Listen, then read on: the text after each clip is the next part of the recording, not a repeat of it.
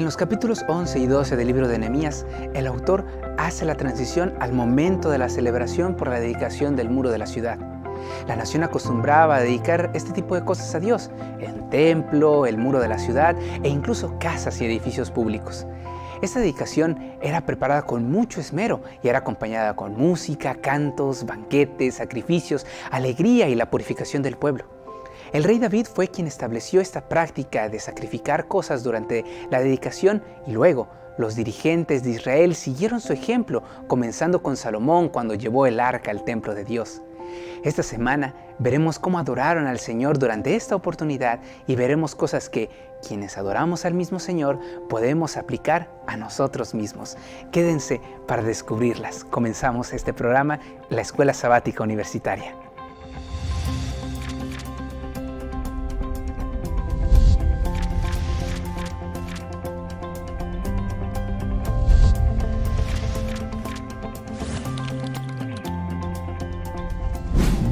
Gracias por continuar con nosotros.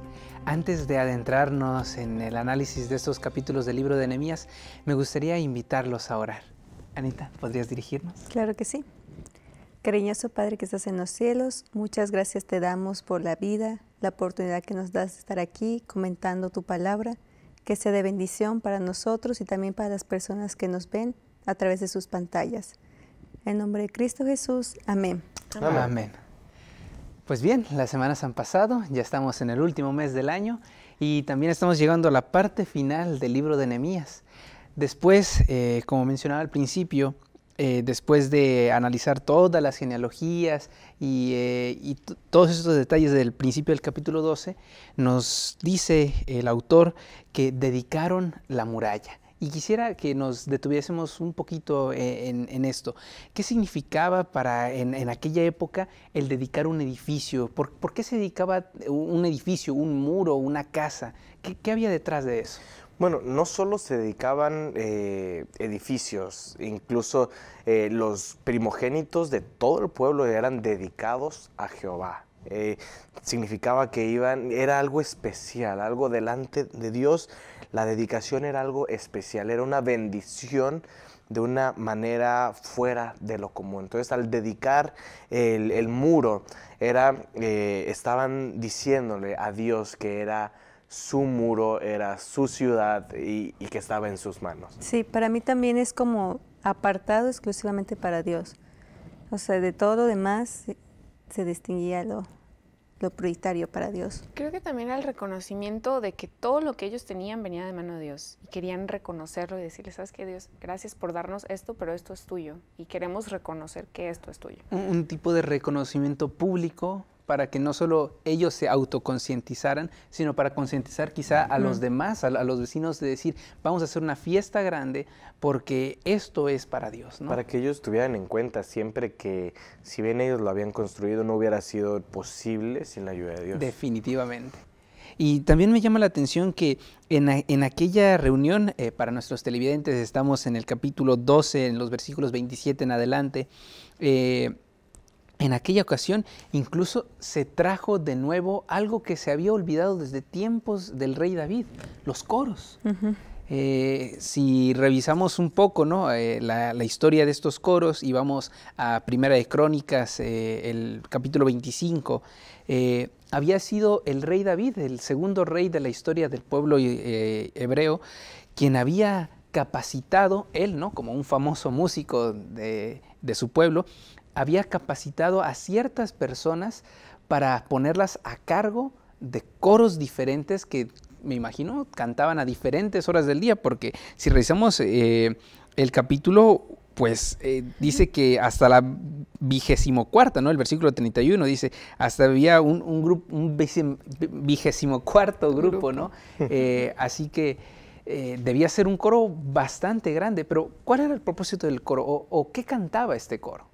O, estos coros que se armaban?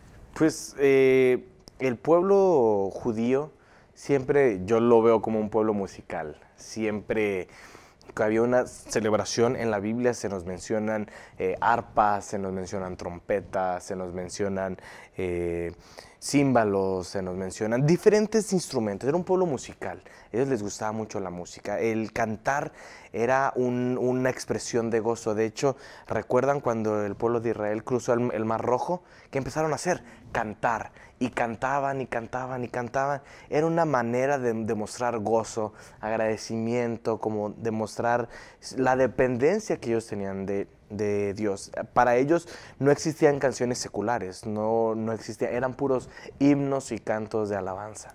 Algo que a mí me llama la atención es que el hecho de que fuera un coro significa que era algo que le habían dedicado tiempo. El tener un coro, y, eh, o sea, es gente que debe saber. Y de hecho, menciona más adelante en todo, toda la forma en que, en que hicieron esta procesión del coro.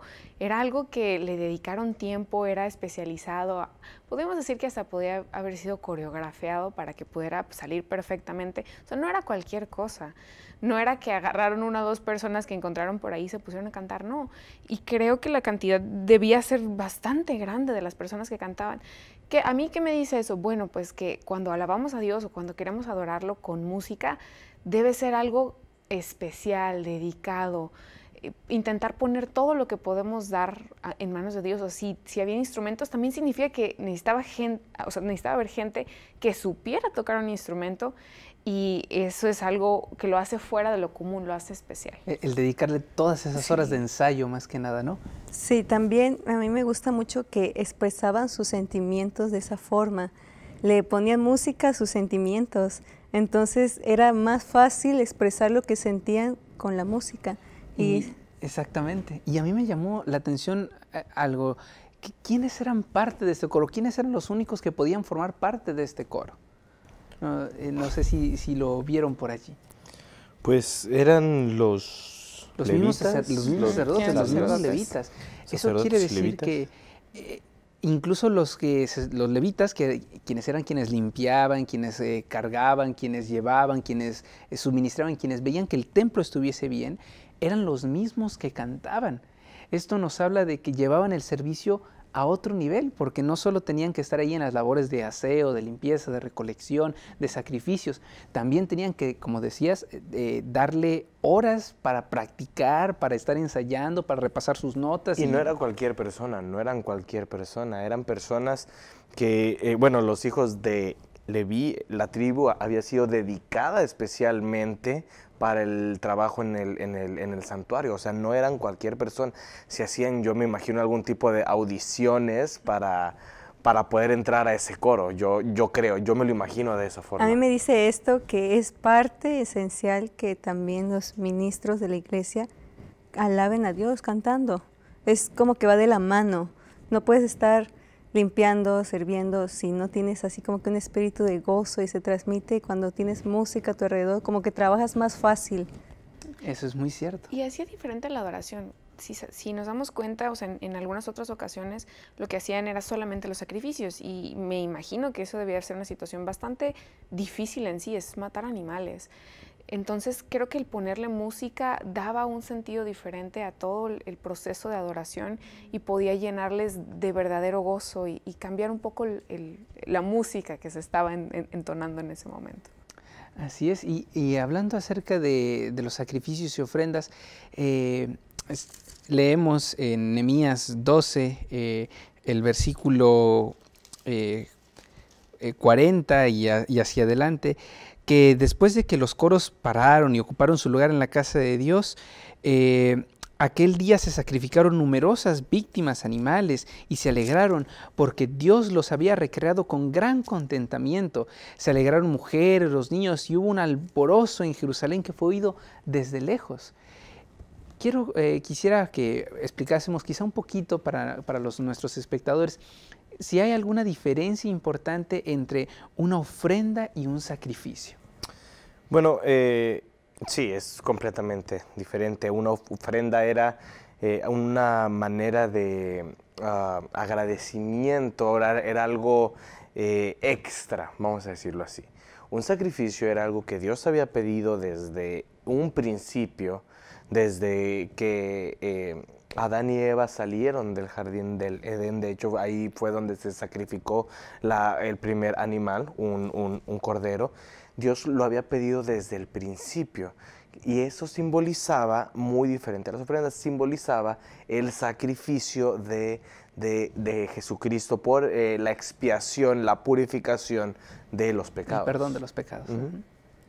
Eh, muy bien. Y este, ¿qué podemos aprender, aprender de todo esto? De, cómo es que ellos podían desprenderse de, porque me imagino que en, esa época, recordando un poco los estudios pasados, habían venido de un exilio, eh, muchos habían tenido que dejar sus negocios, sus casas, sus rebaños, porque pues hacer un viaje largo con una cantidad grande de animales, a tener que comenzar desde cero y aún así eh, tener la valentía o, o el arrojo de deshacerse de todos modos de esa posición y entregársela a Dios.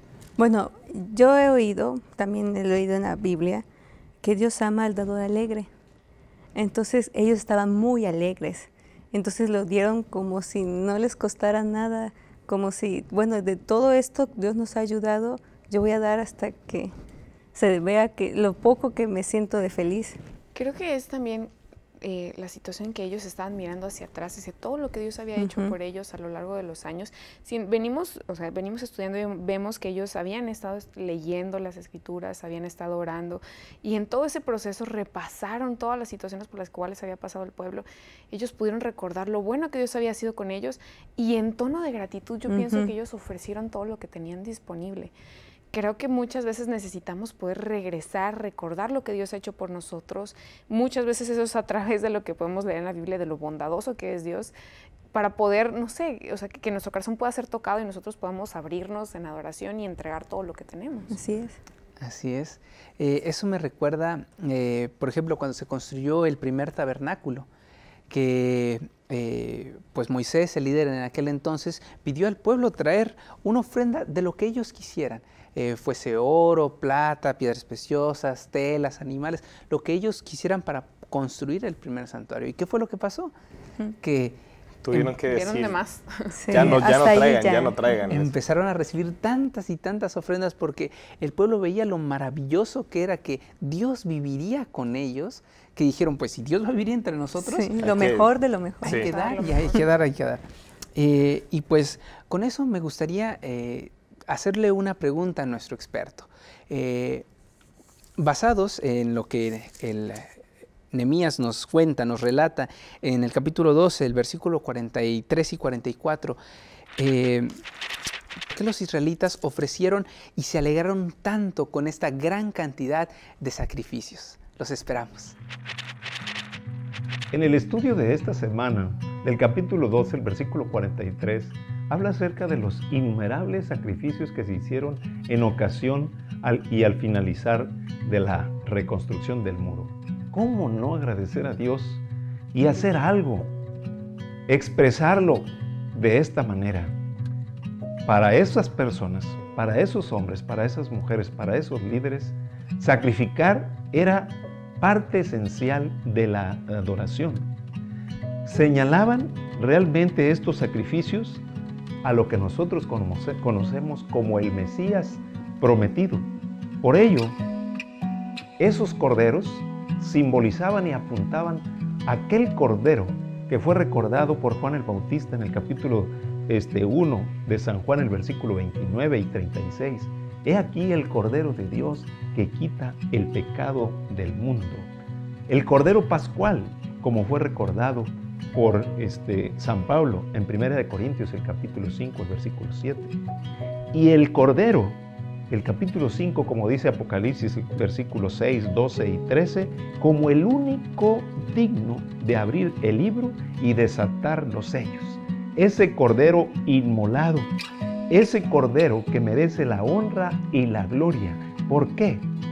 Porque ese Cordero fue anunciado desde antes de la fundación del mundo preparado para todo aquel que no importa que haya fracasado en su compromiso, en su pacto con Dios, gracias a la atención especial de este Cordero, a este sacrificio del Cordero Jesús, como es conocido por nosotros, tenemos nosotros paz para con Dios por medio de nuestro Señor Jesucristo. Así que sigamos adelante, sacrifiquemos, no importa como decimos, echemos la casa por la ventana para honra y gloria de Dios.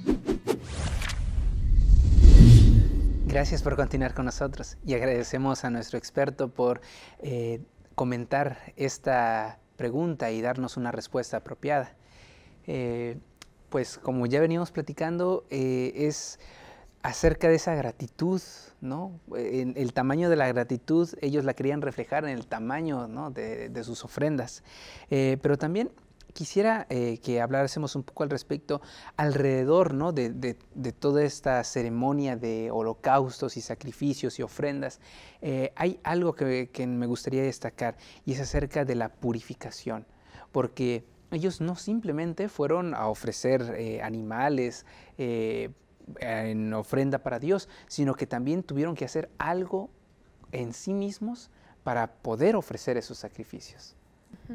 Ellos, yo creo que sabían y, tenían o veían hacia enfrente sabiendo que Jesús iba a venir más adelante, que esa era la representación. El hecho de, hacer un sacrificio representaba que Jesús iba a venir más adelante, iba a morir por ellos y que la sangre derramada representaba la sangre que Jesús derramaría para poder purificar sus pecados. reconocían que eran pecadores y el hacer este proceso podía recordarles eso, tal como lo dice en Primera de Juan 1, 7 al 9. Eh, dice que que Jesús nos va a limpiar de todo pecado, en el versículo 7. Y así como ellos podían reconocer eso, deseaban poder ser luz para el resto del mundo, en, ese momento específico de la historia.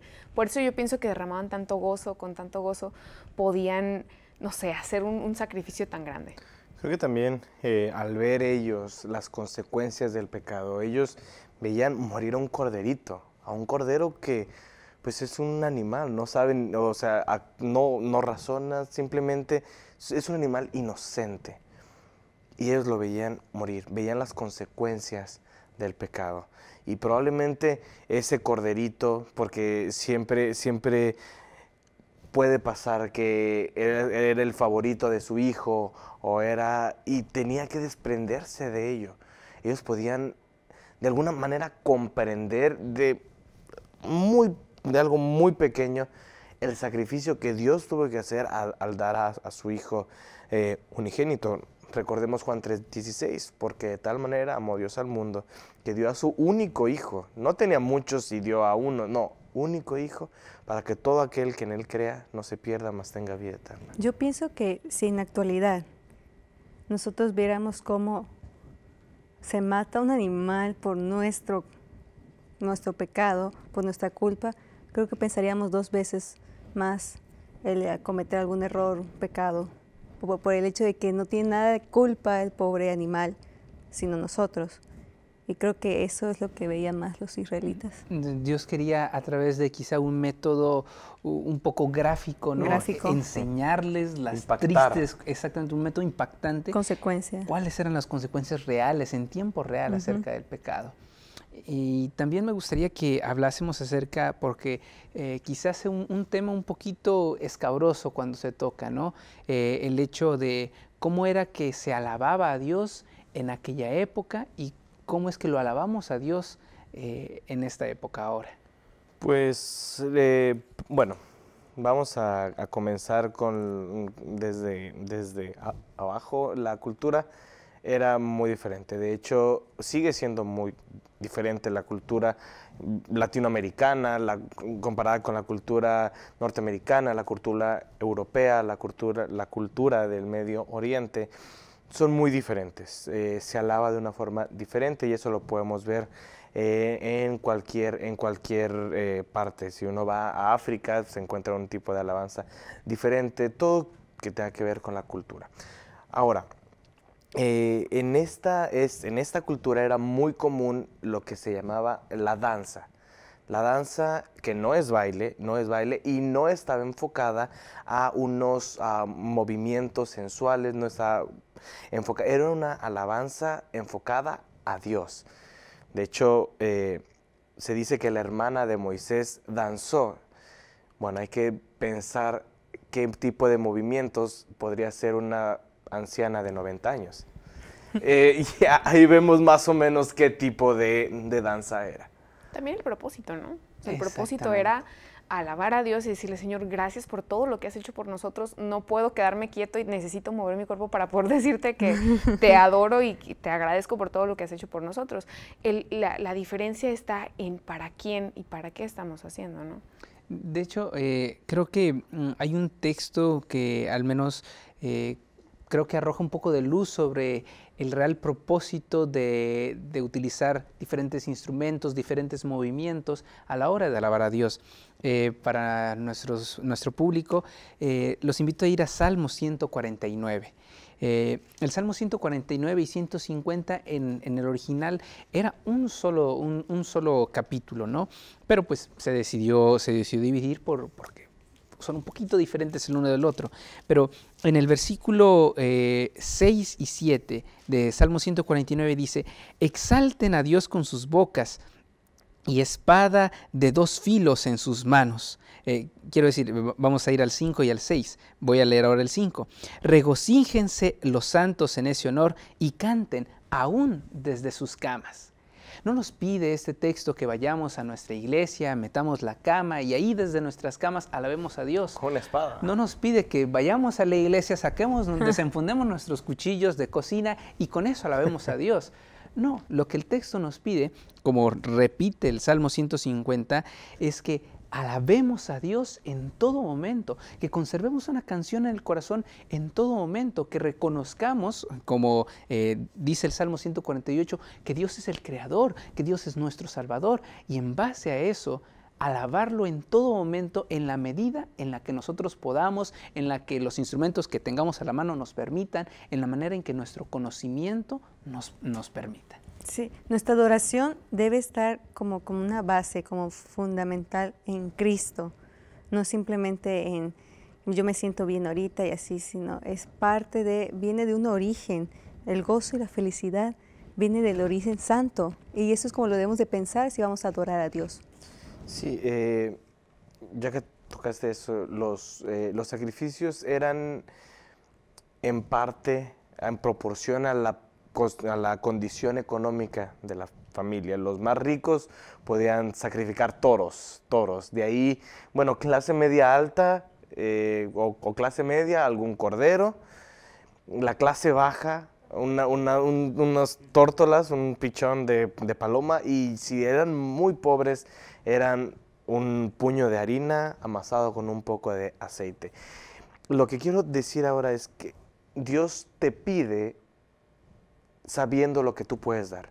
Si tú puedes dar mucho, Él te va a pedir, Él te va a exigir que des mucho. Si Él sabe que probablemente tú no puedes dar tanto, Él te va a pedir tu máximo, o sea, lo que tú puedes, pero siempre en proporción a lo que tú Eso es una gran lección para nosotros hoy. Las personas que Dios los ha bendecido, que el Espíritu de Dios los ha bendecido con algún talento musical y que no lo aprovechan para la adoración a Dios, ahí hay un mensaje para estas, para estas personas. Aquellos que Dios los bendijo con el talento para escribir, para dibujar, para proclamar, para eh, leer poesía, deberían utilizar precisamente, en mi opinión, todas estas capacidades y talentos que finalmente Dios les ha dado para no solo para adorarlo, sino para proclamar también el mensaje. Yo pienso que también es aplicable el hecho de que no es solamente un día a la semana que debe ser enfocado nuestra adoración, ¿no? Como lo habías mencionado, debe ser en, en el momento, en la situación en la que nos encontremos y poder ir nosotros incluyendo, porque a veces lo separamos, ¿no? Mm, pensamos que solamente es dedicar un momento muy apartado solamente para la adoración, pero nuestra vida debe ser una alabanza, una adoración continua a Dios, ¿no? Entonces todas estas situaciones en las que nos encontramos puedan ayudarnos a desarrollarnos de tal forma que cada momento de nuestras vidas pueda ser una alabanza a Dios, ¿no? Y quiero preguntar, eh, ¿cómo es que hoy, en 2019, podemos eh, alabar a Dios con, nuestras facultades? ¿Cómo podemos emular un poquito lo que estas personas hicieron en la antigüedad? Bueno, si bien probablemente no vayas y degolles a tu perro, o si vas a algún rancho y compras un cordero y lo vas a degollar, no, pero probablemente podemos hacer otro tipo de sacrificios. Eh, yo me he pensado, si, si Dios, si hubiera esta historia pasada en el siglo XXI, ¿qué nos hubiera pedido Dios que sacrificáramos? Algo que tuviera mucho valor para nosotros. Probablemente sea eh, tal vez un día de tu sueldo, tal vez eh, un aparato electrónico, no lo uses durante, bueno, es un sacrificio, algo que tal vez tenía mucho valor para ti y bueno, lo estás sacrificando. Eh, es una pregunta que me he hecho. ¿Qué nos pediría Dios que sacrificáramos en el siglo XXI? Son las respuestas que personalmente yo pienso. Bueno, pero simplemente no hay que verlo como pesado. O sea, recordando que Dios nos da todo, no es nada lo que le estamos dando realmente como sacrificio de que me voy a cortar, no sé, la piel o algo. No, nada que ver. O sea, se tiene que dar por gozo, por alegría. De hecho, ese es el fundamento que debemos de pensar siempre cuando es que no es por mí, es porque Dios me lo da, no es nada lo que le estoy regresando. Creo que esa es una de las lecciones más importantes que aprendemos de, en este capítulo de Nehemías, que cuando ellos dieron, dieron alegres, gozosos, que, lo que de lo que se desprendían lo daban con alegría en su corazón.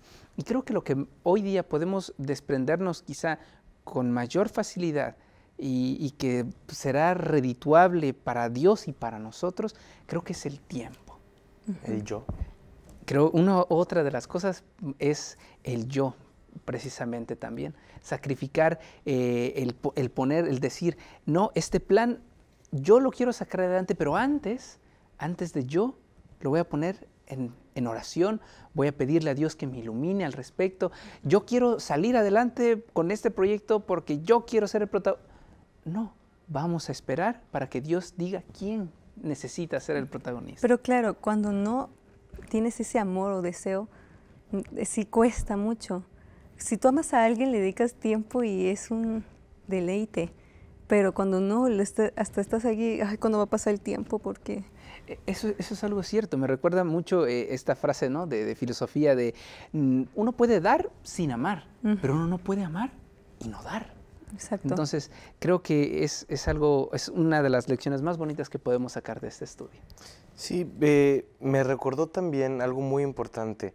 Es más importante la obediencia que los sacrificios. Me acordé en el capítulo 15, versículo 22 del libro de primero de, de, Samuel, dice, entonces Samuel dijo, ¿acaso se complace Jehová tanto en los holocaustos y sacrificios como en la obediencia? A las palabras de Jehová, mejor es obedecer que sacrificar.